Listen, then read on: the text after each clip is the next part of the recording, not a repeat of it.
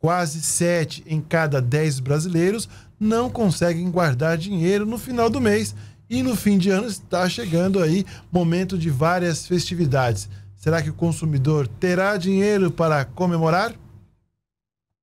Pagar as contas, deixar de comprar algo ou gastar além do que pode. Esses são alguns dos desafios do brasileiro. No início de cada ano, sempre há uma listinha de metas, mas os meses vão passando e ao final, será que ainda há dinheiro para guardar? Essa não é uma tarefa tão fácil como parece. Na grande maioria, os consumidores sabem da necessidade de guardar dinheiro para evitar eventuais endividamentos ou por algum objetivo específico.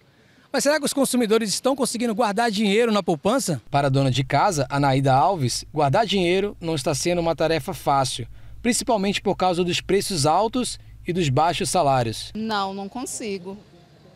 Porque as coisas estão muito caras, né? E o salário nosso é muito pequeno, muito pouco. A mesma situação é da locutora comercial Priscila. Ela vê como um grande desafio ter que guardar dinheiro ainda mais com as festas e comemorações de fim de ano. Gente, não. E tá chegando fim de ano? Não. Olha, até tento no aplicativo do celular, mas a gente meio que perde o foco. Então, na, assim, na minha opinião, a gente acaba que não cumprindo a risca. Segundo o levantamento da Confederação Nacional da Indústria, CNI, quase 7 em cada 10 brasileiros não conseguem guardar dinheiro no final do mês. A pesquisa realizada pela Confederação aponta o total de 69% da população que se enquadra nesse cenário. A técnica em contabilidade Juliana é aquela pessoa que inspira a gente quando o assunto é a organização financeira. Ela conta que guardar dinheiro não é fácil, mas traçar objetivos podem ajudar na hora de poupar. Ah, eu estou conseguindo guardar assim, não era um costume, né? Mas é porque eu estou com um objetivo, com alguns planos, né? Então eu estou conseguindo. Cada mês eu reservo um valorzinho para